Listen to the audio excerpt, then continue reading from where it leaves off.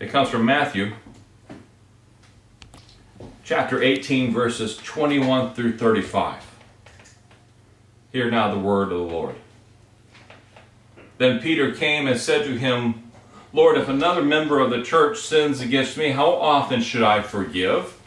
As many as seven times? Jesus said to him, Not seven times, but I tell you, seventy-seven times. For this reason, the kingdom of heaven may be compared to a king who wished to settle accounts with his slaves. When he began the reckoning, one who owed him 10,000 talents was brought to him. And as he could not pay, the Lord ordered him to be sold together with his wife and children and all of his possessions, and payment to be made. So the slave fell on his knees before him, saying, Have patience with me, I will pay you everything. And out of pity for him, the Lord of the slave released him and forgave him the debt. But that same slave, as he went out, came upon one of his fellow slaves who owed him a hundred denarii, and seized him by the throat, saying, Pay what you owe. Then his fellow slave fell down and pleaded with him, Have patience with me, and I will pay you. But he refused. And he went and he threw him into prison until the other slave could pay the debt. When his fellow slaves saw what had happened, they were greatly distressed, and they went out and reported to their Lord what had taken place. Then his Lord summoned him and said to him, You wicked slave, I forgave you all that debt because you pleaded with me. Should you not have had mercy on your fellow slave as I had mercy on you? And in his anger, his Lord handed him over to be tortured until he could pay his entire debt. So my heavenly Father will also do to every one of you if you do not forgive your brother or sister from your heart. Let us pray. Almighty and gracious God, as we open your word, and as your word talks to us in ways that we are often uncomfortable with, help us to hear your word today. Not only hearing your word, but taking it to heart. May we, God, choose to hear and obey what you tell us today. May our hearts be changed. May our lives reflect the change you've created in us. In Jesus' name we pray. Amen. Last week we talked about the way we want the law. We might not think we do. We think we sometimes are really grateful we don't have the law, but we pointed out how the law for us is something that's of comfort. It gives us some pretty serious guidelines of what we can and can't do. We like the way things can be laid out in the law, how our actions can be prescribed, and how we can follow that prescription and have something to guide and judge us by. Then we looked at the ways which Jesus came and made things so much more difficult for us. No longer living by the very letter of the law, Jesus gave us something much more difficult when he said that we are to obey not the letter of the law, but the spirit of the law. Jesus called us to not only be obedient, but to love to love God and to love our neighbors as we love ourselves. This week we're looking at how Jesus encountered that love of the letter of the law once again. As a, a man comes to him and asks, Jesus, how many times should I forgive my brother? Is seven times enough? Did I do good enough if I do that? And after seven times, can I let it go and not forgive him anymore? I can almost hear Jesus groaning at this point. Will you not learn? And Jesus answers him saying, You've missed the point yet again. Jesus then goes into a parable to drive home his point. In the story, he talks about a Lord, somebody high up, somebody wealthy. And he talks about this the servant who owed him money. The Bible says that he owed him um, 10,000 talents. To put that in perspective, that's 15 years of wages for a day laborer. 15 years of money, paying somebody back every dime they make as they work in the fields or do some other kind of labor. This man owed his Lord 15 years worth of income. And there was no way he could pay him back. So the Lord knows that. He says, well, put him and his family and his children, his wife, his whole family, and everything they own, take it all, and put the family in debtor's prison until he could pay it back. The man falls on his knees and asks for forgiveness, realizing that what he owes is far greater than what he could ever repay. He's in over his head. The Lord takes pity upon him and forgives the debt. You would think that would change a man. You would think that anybody who goes through such an ordeal would be so grateful. And yet this man leaves, and upon seeing somebody who owes him only a hundred denarii, which is usually a day's uh, wages of a laborer, grabs the man by the throat and says, Pay me now. And when the man falls on his knees and begs for mercy, the first slave refuses to give it, takes him and puts that man in debtor's prison until he could pay that small, piddly little amount of money. That man wasn't changed by the grace that was given to him. And when the Lord found out about what had happened, he took that first slave and he did throw him in prison, taking all of his possessions until he could pay back all that he owed. Forgiveness for us is so very difficult. This man found out how hard it was. He couldn't forgive a small debt, even though he himself had been forgiven of something so much greater. Forgiveness was so hard for him.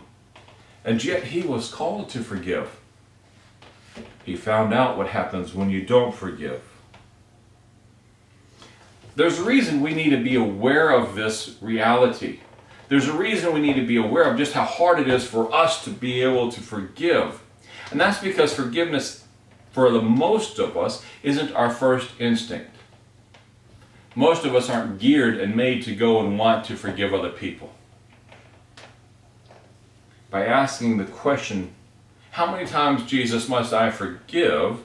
The asker was seeking to know the limit of just how far they needed to go how much did God expect of them? Remember, the law gives pretty good boundaries. The law tells you just how far you can go, and this man wanted to know where those boundaries are, where the guide rails are, and where the end of the road is, where I don't have to go any further. Interestingly, if you think about this, if we keep count of how many times we've forgiven somebody so that we might know when we have done enough, we've forgiven enough, when we've done that, the reality is, is that we never truly forgave anybody anything. We're merely biding our time. We're counting the number of times we've been wrong and have let something go. But that's not forgiveness. We're keeping track. We're holding that in. We're not letting it go. Our instincts tell us to hold grudges and to hold on to our anger. And what we're called to is something beyond that. We're called to changing our hearts. Not merely saying, I forgive you, but to, in our hearts, to forgive and to let go and to forget that pain. But we want to hold on to that anger. We want to hold on to that hurt and to that pain, and we have to learn how to let it go. It's not that we go around looking for reasons to be angry. The problem is, is that it's not our nature to let hurt go. We need to hear that about ourselves. We need to know that in order to be able to do what Christ has called us to do. I would love to say that all we have to do is just learn to get along, that, that Jesus is just calling us to be better. I would love to say this is just something that God calls important, but it goes beyond that. It goes deeper than that. It's certainly a lot more complicated. There is a call to be better, but there is a problem. The problem is, is that we must forgive that we too might be forgiven. That somehow our forgiveness is hinged upon our ability to forgive other people. And I understand the theological wranglings that this causes for a lot of us. It causes me to be tied in knots, that my forgiveness is somehow tied to how other people forgive me. Scriptures paint a picture that I cannot ignore. True, Jesus does forgive us all, and we only have to accept that forgiveness. There's nothing that I can do to earn my forgiveness. I have to accept that forgiveness that's been given to me, but yet somehow my forgiveness is tied to my ability to forgive other people. That's a bit of a conundrum today. Today's passage is a clear example that anytime we fail to forgive, that failure will come back to haunt us. This slave does not forgive, he, though he was forgiven, does not forgive a smaller debt, and that came back to haunt him. And Jesus used that parable, and in verse 35 he tells us, So my heavenly Father will do to any of you if you do not forgive your brother or sister from your heart. It's not merely good enough that we accept the forgiveness that Christ gave us, but we're to take that forgiveness and we're to be able to offer it to other people as if somehow our forgiveness is hinged upon that. That if we don't forgive, then we can't be forgiven. And like I said, this has me in theological knots. But yet the, the, the scriptures are very clear about this. Matthew 6, 14 through 15 tells us, For if you forgive others their trespasses, your heavenly Father will also forgive you. But if you do not forgive others, neither will your Father forgive your trespasses. Jesus has been very clear that our being forgiven requires that we also forgive other people.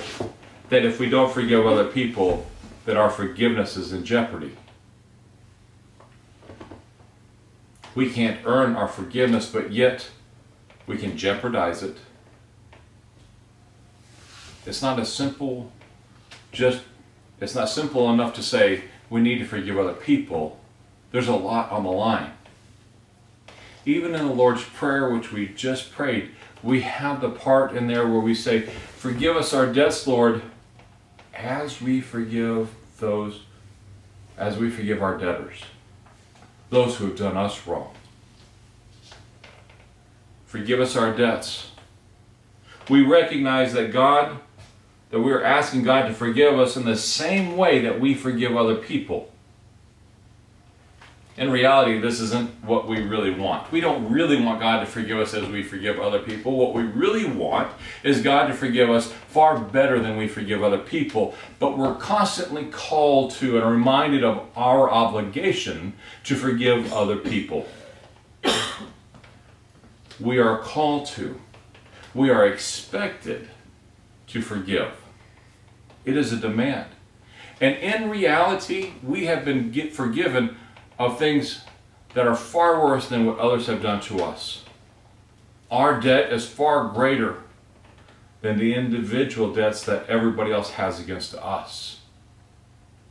And if our debt was forgiven, we're required to let go of those smaller debts. This is a demand that God gives us. And yet, oddly enough, this might not be the most difficult demand of us as hard as it seems to think that, that this, this call and this demand to forgive other people is difficult, that it's hard to believe there could be something more difficult. I dare say there is something harder than forgiving other people. Last week we talked about how we're called to love our neighbor as ourselves. We further, we further this discussion today by being called to forgive others as we have been forgiven. But last week we were called to love our neighbors as ourselves. I've always had an issue with this. And the issue is that there are some people who love others as who do love others as they love themselves and they treat their neighbors terribly. And the reason for that is they do not love themselves. Christ calls us to love others as we love ourselves, and those people that don't treat others well often don't treat themselves well. They're actually obeying what Jesus told them. Sadly, that's not what Jesus had in mind. Many people do not love themselves. They are filled with self loathing. They hate who they are and they hate what they do. And since they cannot love themselves, they cannot love others. Jesus, though, went a little bit further. When he was alone with his disciples, we read in John 13 34, he says, A new commandment I give you that you love one another, just as I have loved you. So you should love one another. Jesus went beyond the love others as you love yourselves, and he says, Love others as I have loved you. Well, that again further complicates things. Again, this call is so much harder than what had come before. But now we run back into the problem of obeying the letter of the law, not the spirit of the law. We all have people that will try to love other people, but how does a person filled with self loathing and anger toward themselves obey such a commandment outside of just devotion to obedience? If somebody hates themselves, can they truly be obedient and love others? There's something very difficult in this. There's something that is not possible for them. But there is hope. When we were called to forgive others just as we are forgiven, there's often one person that's overlooked, one person that we fail to forgive. In our lives, we'll always find there's one person that we had a hard time forgiving, and that person is ourselves. For many of us, it is far easier for us to forgive everybody else around us of everything that they've done, and it's far harder for us to forgive ourselves. We hold ourselves to some higher standard, and when we fail to meet that standard, we don't forgive ourselves when we fail. We get angry.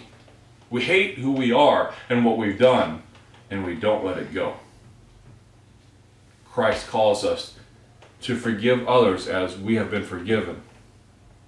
If God has seen fit to forgive you of your sins, then who are we to say, but you can't forgive me, my sins are so much greater, I am not worth forgiving? If God says, you are my beloved, then who are we to say, but I am so awful, I can't be forgiven? The person who is angry with themselves, the person who is filled with self-loathing, those are usually the people who find it so much more difficult to forgive themselves. They're filled with anger and self-loathing because they don't let their own sins go. And God is calling us to forgive in order for us to truly be obedient, to step into forgiveness as we are called to, we have to be willing to forgive others and ourselves. And in that moment when we can say, I forgive and I let go. I no longer count the number of sins. I no longer count the number of times I've had to forgive. I no longer remember what others have done, and I no longer remember my own faults, but forgive myself. Is the moment that we are able to move into being the people God's called us to be, to truly love not only God, but each other, to truly not only love God, but ourselves. For we can never truly love ourselves until we let go of our sins and our failures and forgive them. Oddly, we forget this when we hear this passage, when we hear God saying, forgive others. And if you don't, if you don't let go of what others have done, then I cannot let go of what you have done. We forget that we must also forgive ourselves. I pray this week that we will examine our lives, paying attention to that hurt, to that anger, to that frustrations that we have with ourselves and say, God, help me to forgive myself as you have forgiven me. Remembering that God did forgive you and let it all go, now God calls us to let it go too. It is so hard to let go of our, of our uh, anger and our frustration. It is so hard for us to forgive. But that like stewardship, begins in our heart first. To truly love somebody else, we have to love ourselves. And to truly forgive others, we have to forgive ourselves. The God who created us loved us so much that God was willing to forgive us. Are we more powerful or important or wiser than God? Well, since we're not, maybe we can listen to God. Knowing that God forgave us, we can forgive ourselves. Knowing that God forgave us, we can forgive one another and truly live as God has called us. Maybe just seeing the reality and knowing this truth will help us to obey that which is much more complicated than before. Maybe the spirit of the law can be followed. I pray that is true for all of us this week. To God be the glory, now and forevermore. Amen. Amen. Let us pray. Gracious God, let your Spirit pour out upon us, illuminating our hearts and our minds to seeing where we hold on to failure, where we fail to forgive ourselves and others. May we this week be willing to forgive those around us. More importantly, may we be able to forgive ourselves, accepting the love that you gave and being so willing to share that with other people overcome us, God, with the joy of our forgiveness that we are willing to give it to others and ourselves. I pray in Jesus' name and through the power of your Holy Spirit. Amen. Amen, amen, and amen. Let us now join together. Let us close with